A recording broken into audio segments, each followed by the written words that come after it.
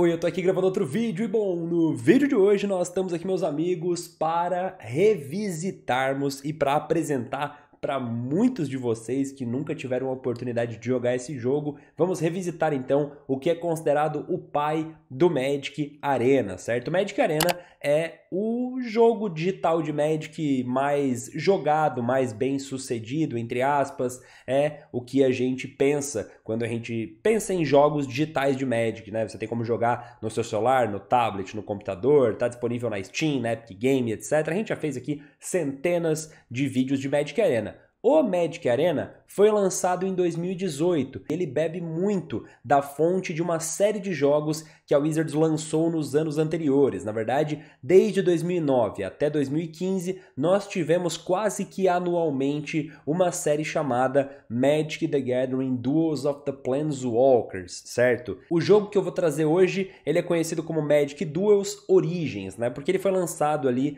no mesmo momento da coleção de Magic Origins, lá em 2015, certo?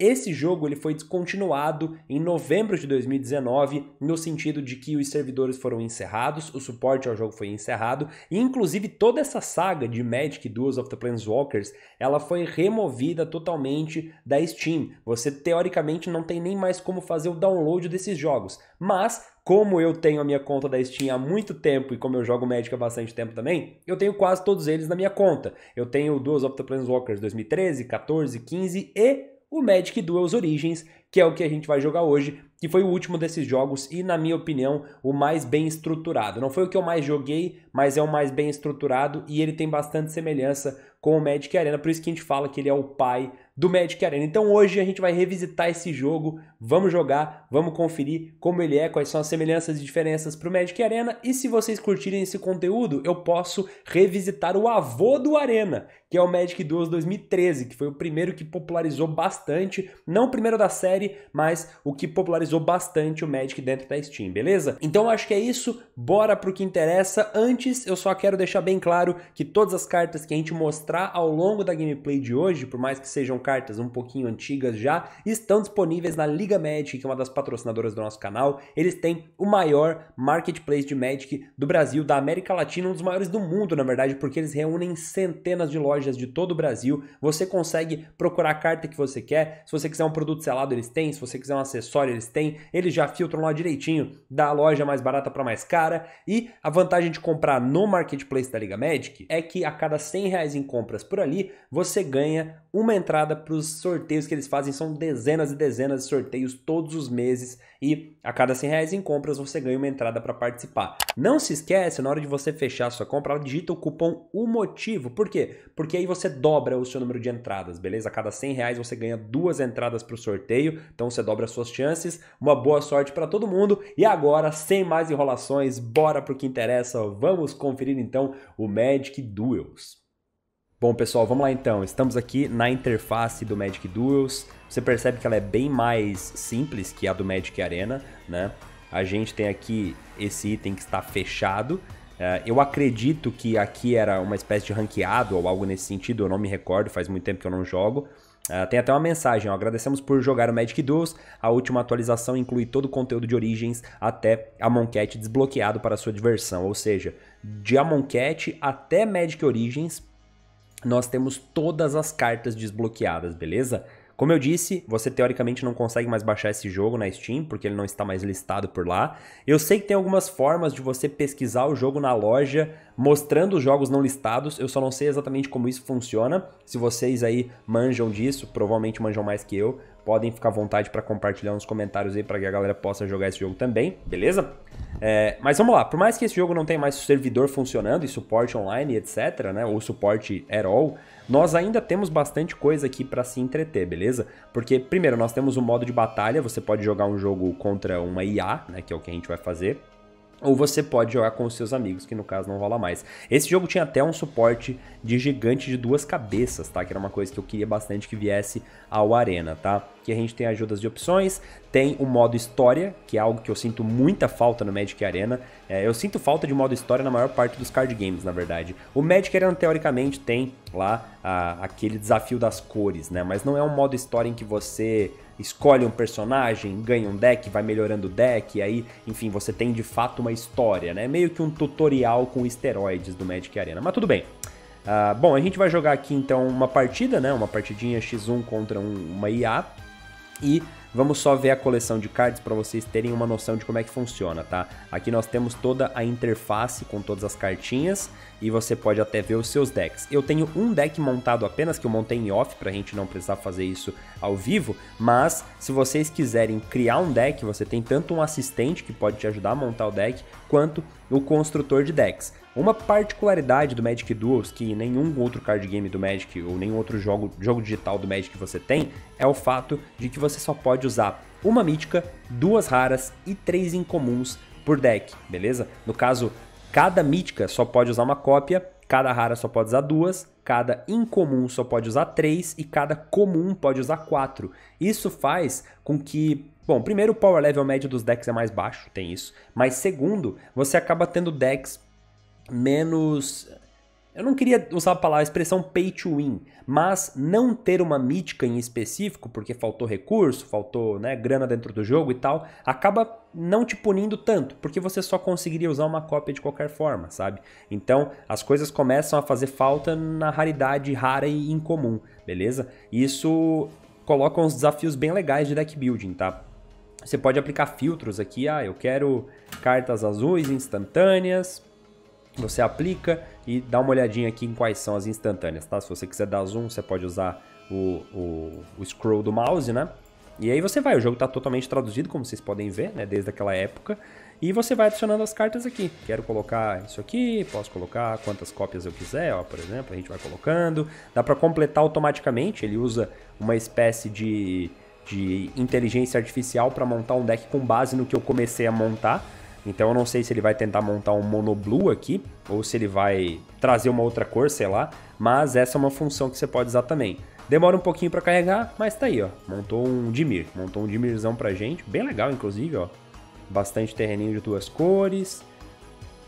Tem até um Lamog perdido aqui, maneiro. Bacana, cara.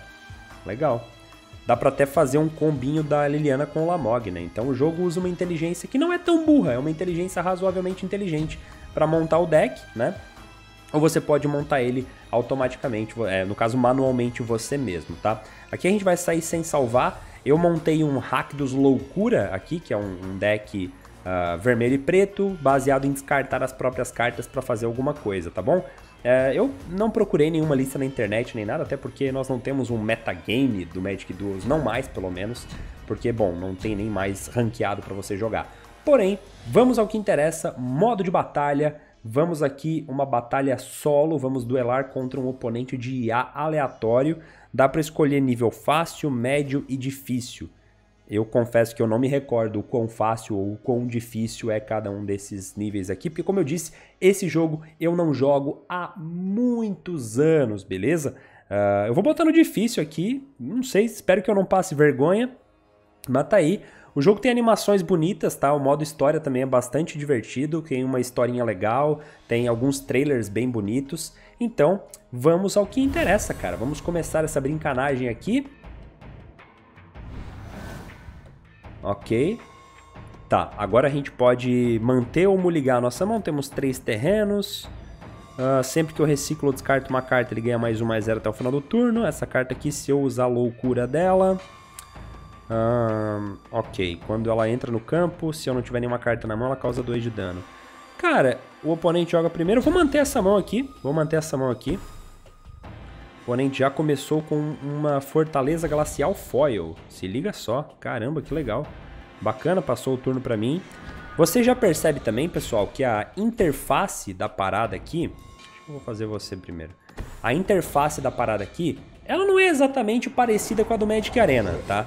Uma coisa que eu gosto aqui é que você tem no meio do campo, né, onde está o meu mouse aqui, você tem as etapas no meio do campo, certo? É, isso para mim deixa o jogo um pouquinho mais agradável visualmente, ok? Uh, aí eu comprei uma carta com habilidade de revolta, ele vai me explicar o que, que significa, ok? Não mostrar novamente. Ele até... É que assim, como faz muito tempo que eu não abro esse jogo, eu não sei se depois que eles fizeram esse wipe e deram as cartas para todo mundo, se eles passaram a resetar as contas, né? Então talvez ele esteja me pedindo para fazer o tutorial de novo, mas enfim, não é necessário. Vamos... Vamos bater. Continuar. Eu clico na minha criatura para atacar. Show de bola. Confirmar o ataque. Eu posso parar, parar o cronômetro aqui se eu quiser o full control, digamos assim, né? Ok. Posso fazer mais um bichinho aqui. Eu acho que a interface do Magic Arena é mais agradável visualmente, tá? A gente tem várias diferenças. É, no, no Magic Arena nós temos mais informação, as cartas com mais tempo na tela. Mas aqui, por exemplo, ela vem pra pilha, aqui no cantinho, que é uma representação bem legal da pilha, inclusive. Então, bacana. Vamos passar o turno. Idealmente, o meu oponente faria uma criatura para dar um Feral Push, né? Só que... Me parece que ele tá jogando de control aqui. O que, que é isso aqui? É um terreno deserto. Tá bom. Por que, que esse terreno tá aqui no canto? Porque ele é útil, é isso? Três manas, quando entra em campo, coloque dois marcadores menos um, menos um na criatura que você controla. Toda vez que outro zumbi que você controla morre, cada oponente perde um de vida. Alright. Continua. Show de bola. Então é uma 5-4 que ganha dois marcadores, fica uma 3-2, né? Passou o turno pra gente. Dica ímpeto. Tá, não é necessário. Agora é o seguinte, tá? A minha jogada é o seguinte. Eu vou fazer o terreno. Eu vou... Uh, eu vou sacrificar isso aqui. Olha só, essa é uma outra coisa que eu gosto muito. Se liga. Se eu dou um... Opa, um ESC não, ó. Calma aí, calma aí. Cancela. Se eu quiser usar a habilidade de uma carta, eu clico nela e eu posso selecionar a habilidade dela que eu quero. Isso é muito útil, mano. Clico aqui, eu posso descartar... Olha, eu não sei qual delas é a melhor, tá? Essa 4-3 aqui troca com o bicho dele, que é meio paia, né? Talvez seja melhor baixar isso aqui mesmo. Mas eu perco o trigger, né? Mas ela tem ímpeto, eu posso surpreender meu oponente depois também. Vamos fazer isso aqui. Confirmar. E por que, que eu não. Ah, tá. Por um breve momento eu buguei aqui. Vamos fazer ela na loucura. Meus bichinhos crescem, né? Que é bom também, porque eles ameaçam. Eu dou o draw do neófito. Parto pro combate. Confirmo o ataque. Meu oponente vai tomar 4 a princípio, né? Eu não achei essa carta tão boa, não. É que você pode botar os marcadores menos menos num outro bicho seu, né? Essa é a ideia dela. Mas ok, o jogo é bem visual, como vocês podem ver, né? Ele é um jogo agradável, cara. Eu acho que pra época ele foi um bom, um bom simulador de Magic, vai.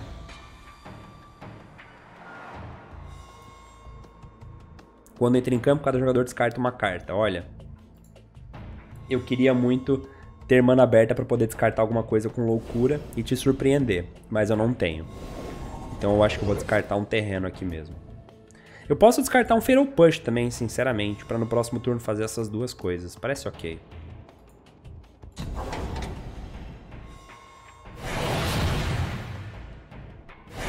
Agora que eu percebi que tem uma fita aqui no meu microfone, talvez isso estava na introdução, não sei. Eu uso uma fitinha para limpar os pelinhos do gato.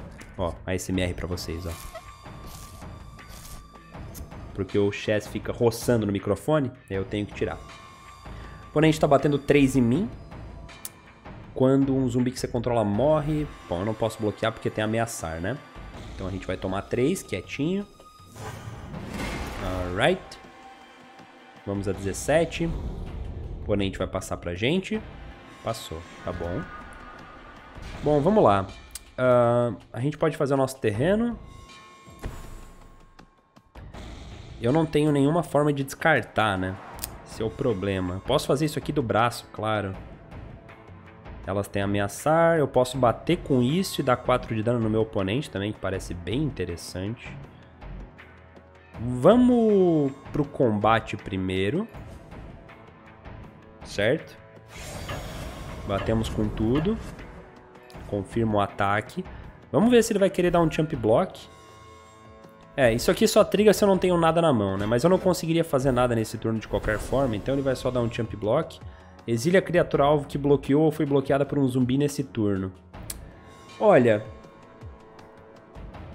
ele vai conseguir matar aqui de qualquer forma, independente de eu fazer o Fatal Push ou não. Então, beleza, ele conseguiu fazer a trick dele. Eu vou perder meu bicho antes do combate resolver, o que não é nada bom, viu? Essa IA realmente é inteligente, velho. E o deck dele ficou bem legal, cara. Gostei, forte mesmo. Aqui a gente vai fazer o nosso bichinho. Eu percebo que o jogo tenta te indicar o que você deve fazer. Eu não sei se isso é só no começo, né? Porque como eu disse, eu acho que eles resetaram tudo. Ok, fez mais um terreno. Eu não gosto muito desses terrenos úteis estarem aqui do lado, sinceramente. Talvez por serem desertos eles ficam separados, mas eu acho isso bem ruim, para ser sincero. Bom, eu precisava de um outro neófito ou um outro discard outlet, certo? Talvez um, um machado de machado de alguma coisa que eu não lembro o nome. Quando você descarta ou recicla uma carta, pode pagar um. Tá bom, resolveu. Tudo bem.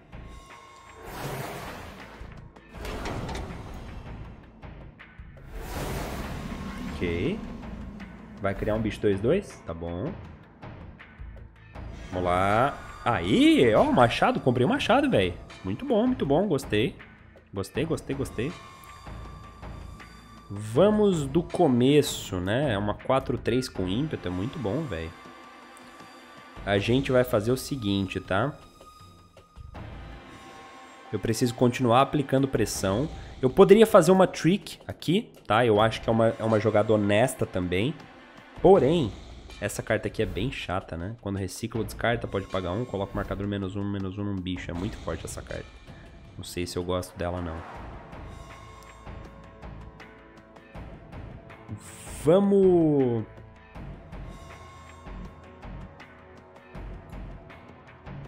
Cada oponente perde um de vida, né? Tá, vamos fazer isso aqui. Eu vou dar 5 de dano nesse bicho, eu acho. Acho que ele pode me incomodar. Vou descartar uma carta, vou descartar você, vou confirmar. Aí agora eu vou ter a oportunidade de fazer a carta, né? Confirmar, vou pagar minha mana, show de bolinhas. Vamos bater com absolutamente todas as criaturas, né? O bicho dele morreu, show. Atacar com todas, confirmar o ataque. O oponente tem alguns blocos ok, ele pode dar um double block numa 4-4. Pode... Ó, deu um jump em cada uma. Tá bom, não sei se seria isso que eu faria. Eu perco 2 de vida, né? Importante lembrar disso. Porque ele tem o bichinho que triga, né? E os dois bichos são zumbis. Ele toma 4, ok. Mas eu continuo com a, com a mesa cheia, né? Que é bom. É isso, né? Sempre que um zumbi que você controla morre, cada oponente perde um. Beleza. é isso aí, eu tava com 14, fui pra 12. Outro desertinho desse. Caraca, quanto você tem, brother? Tá bom. Enquanto a melhor jogada dele for ficar fazendo esses bichos, eu tô tranquilo. Mas é uma espécie de Esper zumbis. Achei bem interessante. Quando entra em campo, cada jogador descarta uma carta. Vamos por partes. Vamos fazer o Fatal Push primeiro, dando o alvo aqui, que é o único alvo válido. Aí depois eu faço a múmia, e aí essa múmia manda todo mundo descartar, certo? Porque daí eu não tenho mais carta na mão. Então pra mim fica bem, fica bom aqui. Eu poderia também descartar o Feropush só pra crescer os meus bichos. Descartou um terreno, tudo bem. Vamos pro combate de novo, e agora eu vou conseguir desencadear a cartinha que eu queria, se liga. Eu vou dar 2 de dano aqui, né? E ao que tudo indica, nós temos letal, correto? 4, 8, 9, 10. O oponente vai a menos 1 de vida acho que a gente conseguiu ganhar. Esse deck que eu montei ficou bom, cara. Eu montei ele na brincadeira aqui, mas eu achei que ele ficou bastante honesto, viu? Ficou bastante honesto. Aí, rapaziada, ó. Ganhamos. Show de bola. Still got it. Bom, tem até as quests, né? Aparecem aqui os, os achievements da Steam. Não apareceu para vocês, porque eu tô capturando só a tela do jogo, mas apareceu para mim, no, sabe quando aparece no cantinho da tela assim, conquista desbloqueada e tal? Enfim, apareceu uma de ganhar com um deck que eu montei. Então, é mais ou menos isso, cara. Show de bola. Gostei bastante, cara. Gostei bastante. Foi bem divertido. Não foi 100% fácil, assim, para ser sincero. Uh, acho que meu oponente veio meio lento. Uh, eu gostei muito, muito desse jogo. Dá pra gente tentar zerar o modo história, por exemplo, fazer uma série de vídeos zerando o modo história inteiro do Magic Duels. Eu já zerei aqui no canal o modo história do 2014 e do 2015, eu acho. Ou do 13 e do 14, não lembro. Isso lá em 2013, 2014, na época que eu né, comecei a, a, produzir conteúdo forte do jogo assim. Eu, eu, eu gostava muito de trazer esse tipo de conteúdo pro canal. Então, enfim, é mais ou menos isso, pessoal. Não tem muita muito o que mostrar além disso, porque como eu disse, o jogo foi descontinuado, né? Então, enfim. Mas se você para para olhar a coleção de cartas aqui, cara, nós temos muita coisa legal, certo? Muita coisa legal mesmo. Se a gente quiser aqui, ó, por exemplo, vamos filtrar em. Uh, deixa eu ver, palavras-chave. Eu queria filtrar pela raridade, tá ligado? Eu não sei se tem como filtrar pela raridade. Aí, ó, raridade. Vamos filtrar em cartas míticas uh, e vamos ver o que aparece. Olha só.